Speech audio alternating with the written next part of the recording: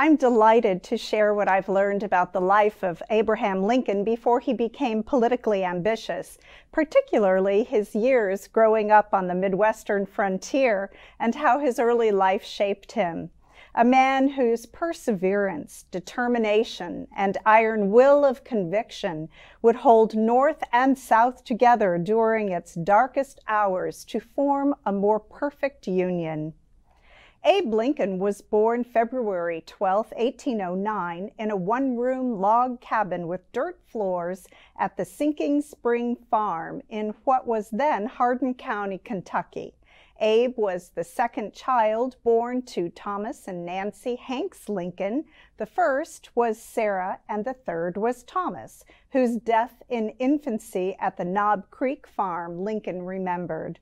This photograph is of a replicated log cabin from the same time period and is housed inside a memorial today.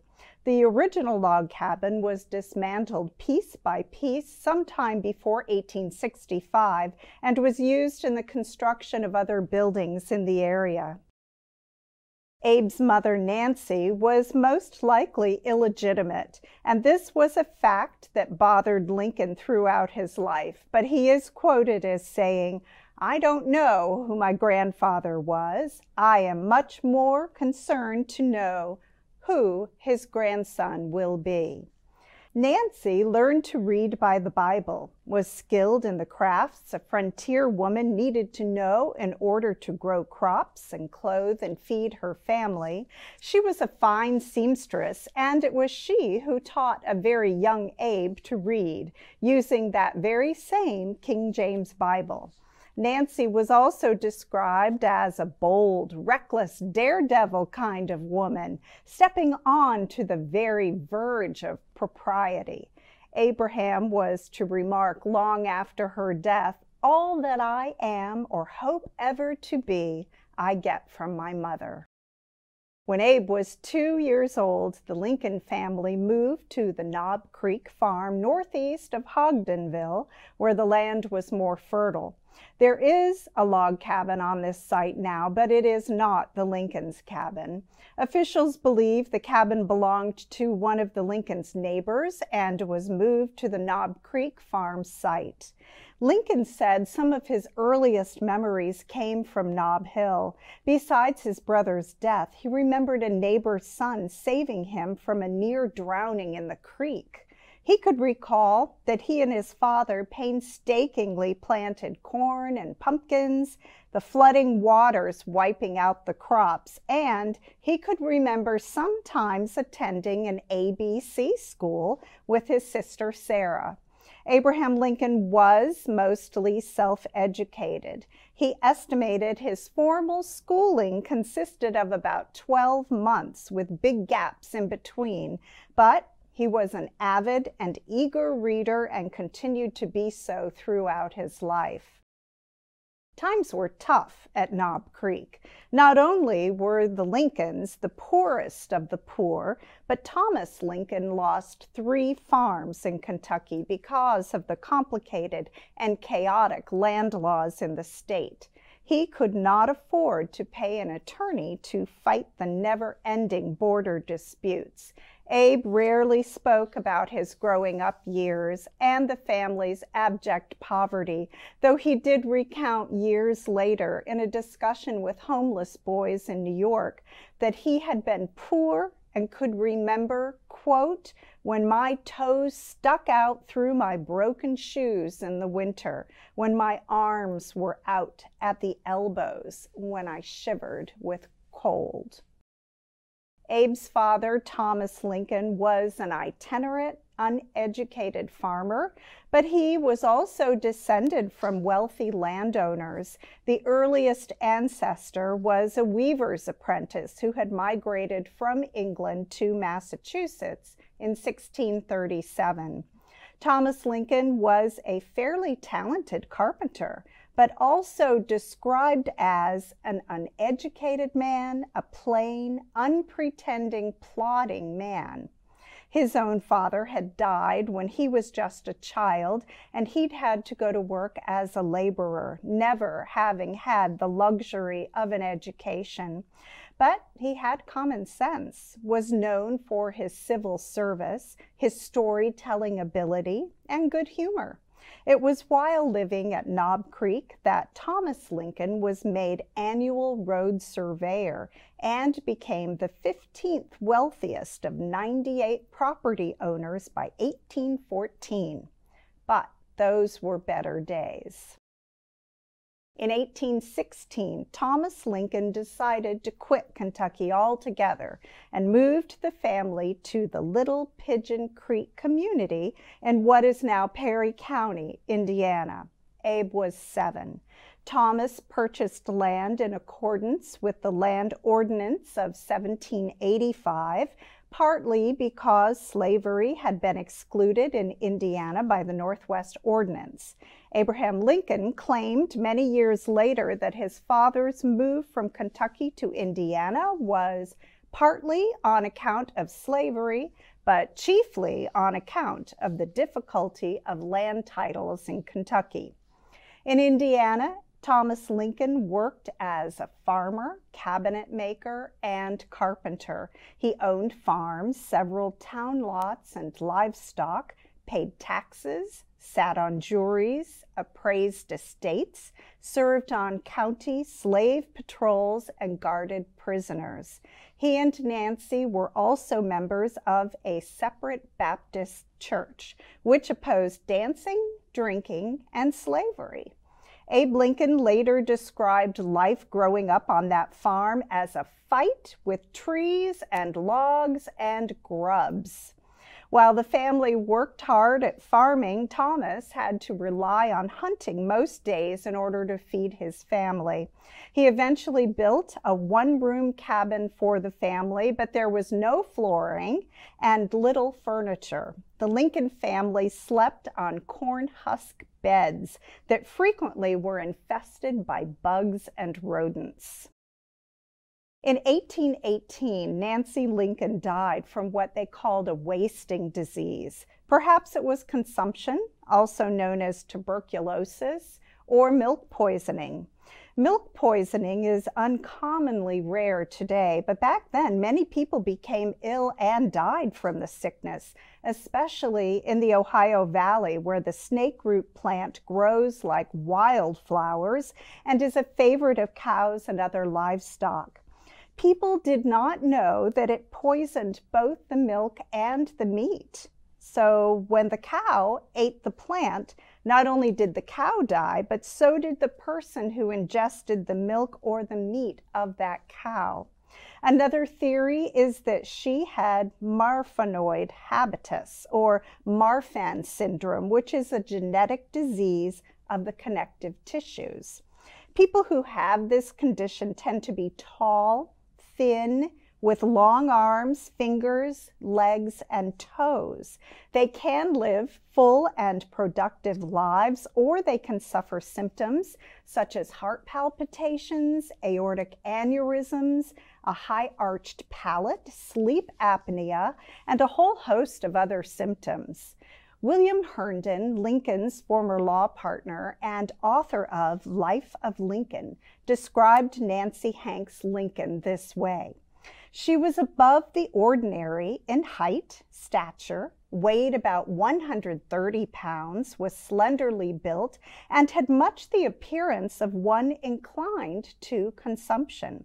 Her skin was dark, hair dark brown, eyes gray and small, forehead prominent, face sharp and angular, with a marked expression for melancholy, which fixed itself in the memory of all who ever saw or knew her.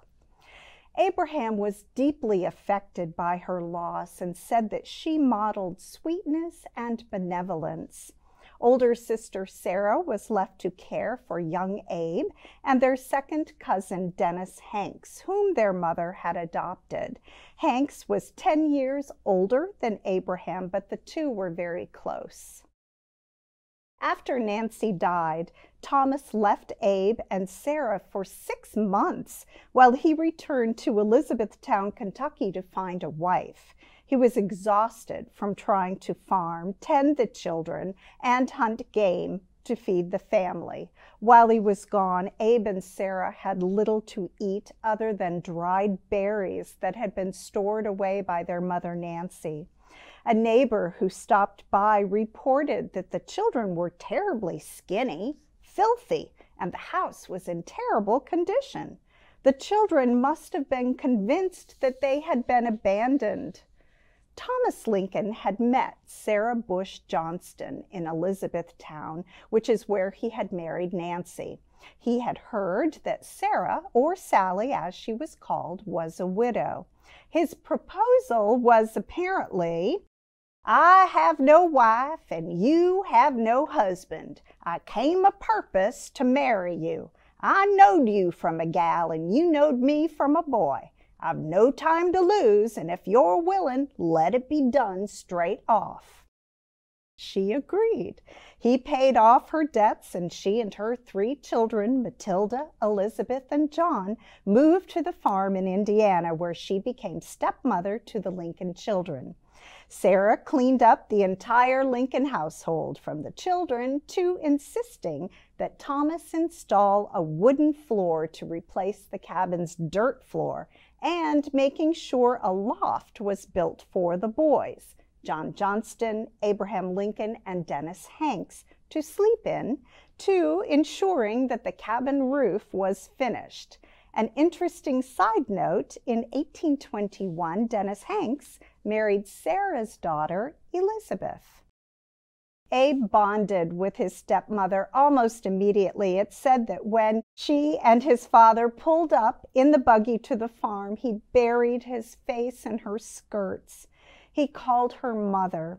Sally was a great source of comfort and support to him, talking to him, taking an interest in his learning, encouraging him to read, and often taking his side in arguments with his father. Many of their neighbors believed Abe was lazy for all his reading, writing, scribbling, ciphering, writing poetry, etc., and probably did all those things just to get out of hard work. If asked what he was allergic to, his answer would have been work. Often quoted, Abe supposedly said, My father taught me to work. He didn't teach me to like it much. Many of Abe's friends and relatives also spoke about his love of animals. During his lifetime, he had dogs, cats, goats, and horses. It is said that as a young boy, he preached sermons to his family declaring that he was against cruelty to animals. Sarah admitted that Abe did not enjoy physical labor, but insisted that he had a great mind. Abe would walk for miles to borrow a book and especially liked the King James Bible, which is what he'd learned to read with his mother Nancy. He also enjoyed Aesop's fables, Bunyan's The Pilgrim's Progress, Defoe's Robinson Crusoe, and Benjamin Franklin's autobiography. Many of these were books that Sally had brought with her from Kentucky. I've mentioned that Lincoln had no prolonged formal schooling. He once wrote about his Indiana childhood.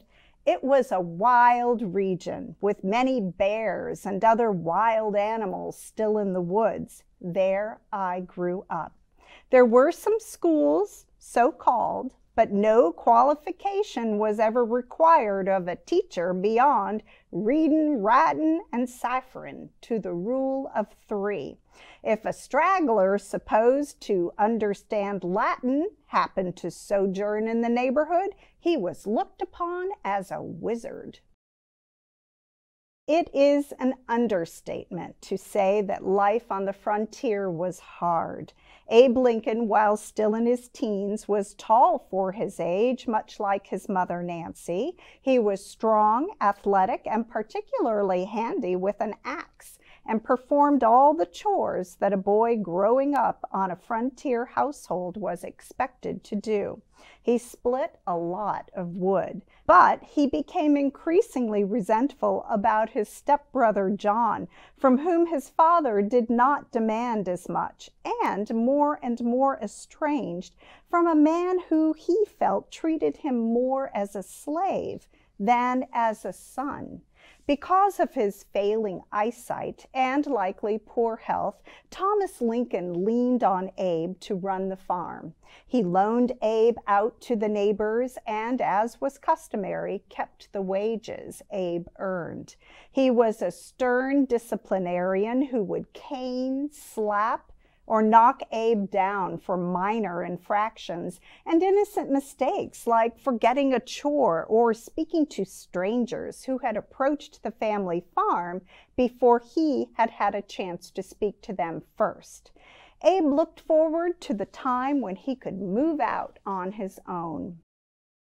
When Abe was 17, his sister Sarah Lincoln married Aaron Grigsby. She and her husband attended the Little Pigeon Baptist Church, a primitive Baptist church where her father Thomas was a trustee. Abe occasionally went to church and listened to the sermons, but he sometimes got in trouble for reenacting the minister's sermons as parodies. When Sarah died giving birth to a stillborn son less than two years after she had married, Abe was distraught. He blamed her death on the failure of Grigsby to send for a doctor. She was buried in a small cemetery next to the church. Both the church and Sarah's gravesite are located within what was the Little Pigeon Creek community and is now Lincoln State Park in Indiana. There were some lighter moments in the Lincoln household, though. Abe and his stepmother, Sarah, had a very good relationship, and his sense of humor was probably influenced by her. When he was 18 years old, Lincoln was 6'4", was so tall that his head nearly touched the ceiling of the family's farmhouse kitchen. Sarah used to tease Abe and say that he was so tall that he needed to keep his hair washed or he'd leave prints on her ceiling.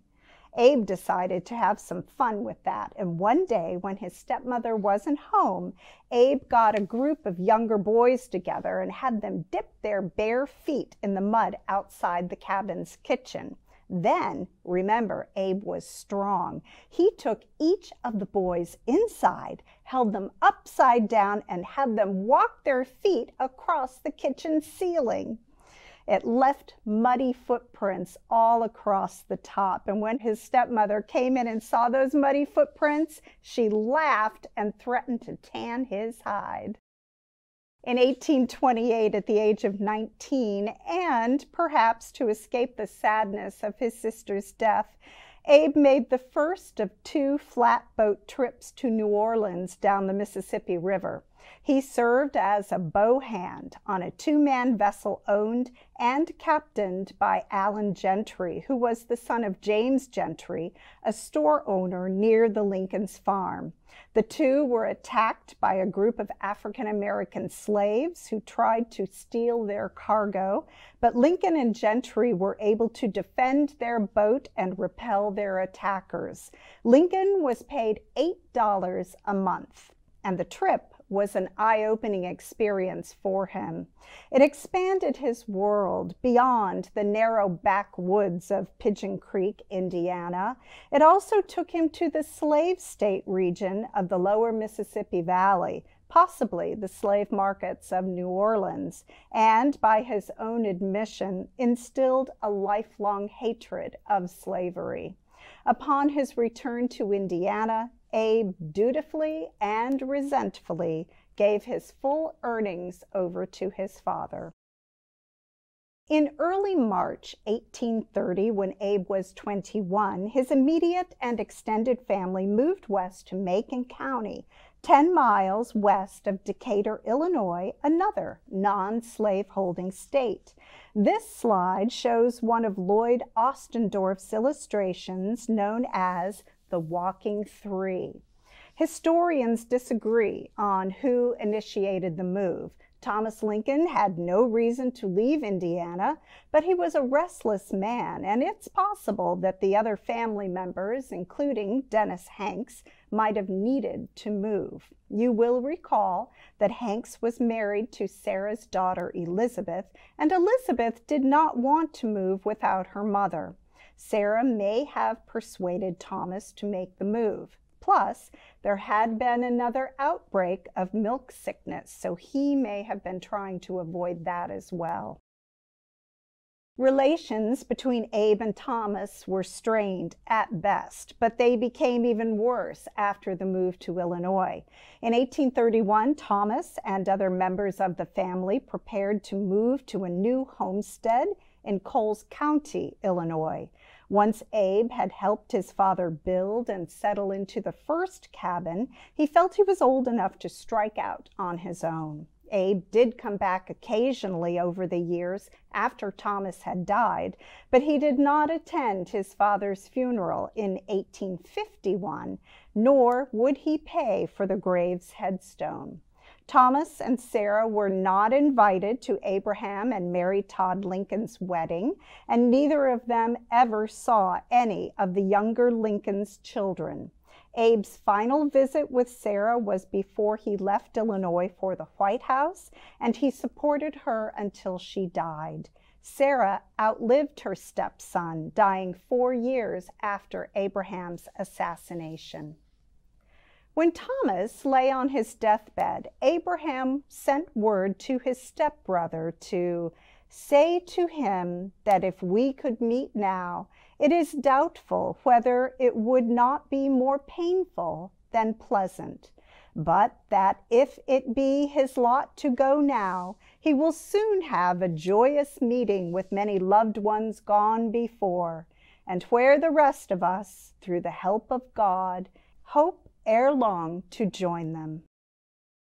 Abe, along with his stepbrother John Johnston and a cousin John Hanks, accepted an offer from a store owner named Denton Offutt to take a load of cargo with him to New Orleans. They left for Springfield in early May of 1831 and floated down the Sangamon River. They had some difficulty with the boat near the town of New Salem, and Offutt, who thought the town had a lot of potential, decided to rent the mill and open a general store.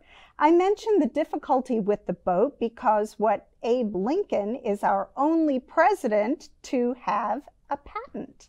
He developed a device that would lift a boat over shoals or other obstructions without necessitating unloading the boat to make it lighter. He was always interested in the way things worked.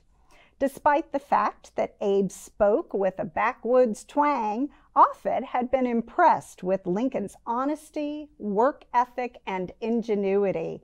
The two men returned to New Salem after they discharged their cargo in New Orleans, and Offutt hired Lincoln as his store clerk. For the next six years, Lincoln worked more on his education than he did at Offutt's General Store. In New Salem, Abe gained a reputation in the community for his good humor, his storytelling abilities, his brawn, and his audacity. Denton Offutt, Lincoln's boss, had bragged that Lincoln could beat anybody in a wrestling match. Jack Armstrong, the renowned leader of a group of ruffians known as the Clary's Grove Boys, heard the boast and challenged Lincoln to a match, which Lincoln accepted. Offutt bet $10 that Lincoln would win. According to witnesses, the two circled each other warily. Lincoln seemed to be getting the better of Armstrong, plus, he was known to talk a little smack in the ring.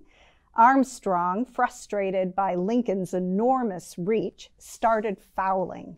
Lincoln finally lost his temper, picked up Armstrong, and threw him to the ground, knocking him out. Then Armstrong's gang backed Lincoln up against the walls of Offutt's store, and it looked for a time like Lincoln was done for. But Armstrong recovered in time to stop his gang from starting a brawl. Armstrong was impressed with Lincoln. He came forward, shook Lincoln's hand heartily, and said, Boys, from now on, Lincoln will be one of us. Armstrong and Lincoln became friends, and in fact, Lincoln used to stay with Armstrong and his wife Hannah when he was periodically out of work. Lincoln was quite an accomplished wrestler. He was defeated only once in about 300 matches. He lost to a member of his unit from the Black Hawk War, and he is enshrined in the Wrestling Hall of Fame. In 1858, Lincoln returned the favor when he represented Duff Armstrong, son of Jack and Hannah, in a murder trial in Beardstown, Illinois. Known as the Almanac Trial, the story goes like this. Lincoln produced an 1857 almanac, which was the year the incident occurred, to argue that the state's witness could not have seen Armstrong kill the victim. There was no moonlight at the time and he was a long distance from Armstrong, so theoretically he could not have seen that far in the dark. Lincoln also produced a witness who helped acquit Armstrong. When Hannah asked Lincoln how much they owed him, Lincoln replied, Why, Hannah, I shan't charge you a cent. Never. Anything I can do for you, I will do so willingly and without charges. Most of the people in New Salem were illiterate, so Lincoln also became a popular member of the community by working in the general store and reading for his neighbors. For his part, Lincoln was able to work on his grammar and social skills. He attended several meetings of the local debating club. His efficiency and success in managing the general store, the grist mill, and sawmill caught the attention of the town's leaders who believed Lincoln could represent their interests. They encouraged him to run for office. In August of 1832, he decided to become a candidate for one of four representatives of Sangamon County in the Illinois legislature, despite being a resident in the county for only nine months. His campaign platform centered on improvements to the navigation of the Sangamon River that he would initiate. When the Black Hawk War broke out in 1832 between the United States and the Native Americans, the volunteers in the area elected Lincoln to be their captain. He saw no combat during the time except for a good many bloody struggles with the mosquitoes but he was able to make several important political connections. When he returned to New Salem, it was election time. By then, though, there were 13 candidates, and he finished eighth on the ballot. But he won over 90% of the New Salem vote. Discouraged, Abe decided to enter a partnership in 1833 with William Berry to purchase Denton Offutt's store on credit. Thinking that New Salem was an up and coming town, Lincoln believed the purchase would earn him great profits. Unfortunately, the Lincoln Berry General Store failed even after Berry had purchased a liquor license. Berry abandoned Lincoln. Attempts to sell the store were unsuccessful, and Lincoln was stuck with a debt that would take him 17 years to pay off. On May 7, 1833, Abe was appointed postmaster of New Salem by President Andrew Jackson. He earned $55 a year and supplemented that income by chopping wood and splitting rails. But as the population of New Salem declined over the next few years, it became too small for a post office and Abe was out of a job. That same year, Lincoln was hired to survey new lands acquired by Sangamon County, despite the fact that he had no training as a surveyor. According to legend, it took Abe only six weeks to learn the trade, and from that point on, he was considered to be an excellent surveyor. In 1834, he made his first known land survey and would campaign again for representative in the Illinois state legislature. Now that he was well known in a larger portion of Sangamon County, Abe traveled from village to village, giving speeches, attending shooting matches, horse races, and other community events. Again, there were 13 candidates, but this time Abe won. Perhaps the most common image of Abraham Lincoln as a young man is Lincoln the rail splitter. There is no doubt that Lincoln split logs for fences and the family cabin when the Lincolns moved from Indiana to Illinois in 1830, but Lincoln was not nicknamed the rail splitter until the 1860 Republican Party National Convention, when supporters of his candidacy marched through the convention hall with two rails they claimed were from a lot of 3,000 made in 1830 by Thomas Hanks and Abe Lincoln, and trumpeted Lincoln as the rail candidate. Soon the image of a young Lincoln with an axe in hand was everywhere, on the masthead of this campaign newspaper, for example. I must mention the two women in my talk. Soon after Abe moved to New Salem, he met Anne Rutledge. Her father, along with another man, had founded New Salem. Scholars and historians have argued over their relationship for years. They do not agree on the significance of their relationship, but according to many, Anne Rutledge was Abe's first love. At first, they were probably just close friends and may have reached an understanding that they would be married after Anne finished her studies, but a wave of what is believed to have been typhoid fever swept into New Salem, taking Anne Rutledge along with it. Anne died in 1835 at the age of 22, and Lincoln went through a bout of severe depression. Years later, a close friend asked Lincoln if he had ever loved Anne Rutledge, and he replied, It is true. True indeed, I did. I loved the woman dearly and soundly. She was a handsome girl, would have made a good, loving wife. I did honestly and truly love the girl, and often, often think of her now. Lincoln's Springfield law partner William Herndon and Mary Lincoln did not get along, and Herndon used to throw this first love in her face after Lincoln's death. In either 1833 or 34, before Anne died, Lincoln had met Mary Owens, the sister of his friend Elizabeth Abell, when she was visiting from her home in Kentucky. A year after Anne died, Lincoln agreed in a conversation with Elizabeth that he would court Mary if she ever returned to New Salem. She did, and Lincoln courted her for a while, but neither was very enamored of the other. In 1837, Lincoln wrote Mary a letter from Springfield where he had relocated to practice law, suggesting an end to the relationship. She never replied, and the courtship was over. Two years later, Mary Todd moved into her sister Elizabeth Edwards' house in Springfield, Illinois, and the rest, as they say, is history. Abraham Lincoln rose from humble beginnings, taught himself to read, and put his gregarious nature and gift of storytelling to use. Behind that affable demeanor lay a shrewd and brilliant man who rose to become one of our country's most admirable men. I hope you have enjoyed learning more about the life of Abraham Lincoln's early years. Thank you.